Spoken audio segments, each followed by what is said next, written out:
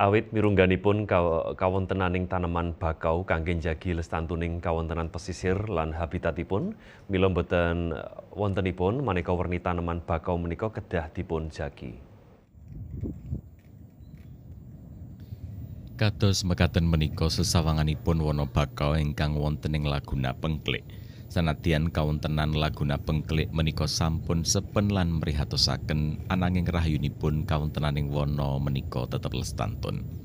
Kados ingkang kawuningan, bilih kalengganing tanaman bakau menika mirunggan sanget kangge njagi kawontenan pesisir lan habitat ingkang wonten ing salebetipun. Kathah tanaman bakau ingkang dipun mupangataken minangka kangge njagi ekosistem ing papan menika. Tanaman kala wau saged wonten ing siti lendut engkang gadai kalenggan minangka kangge ngawekani inggiling alun seganten lan ugi nyimpen kathah sumber pangan kangge maneka werni kewan ingkang wonten ing lalatan menika. Tanaman bakau saged kanthi inggil ngancik 12 meter sautawis menika perangan ayo tanaman bakau saged ngancik 3 meter.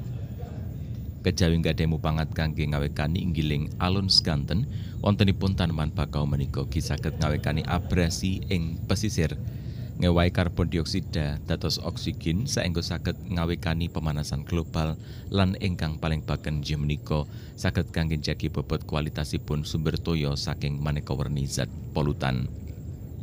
Wonten setunggal lahan ing Laguna Pengkele ingkang dipun tanemi tanaman menika.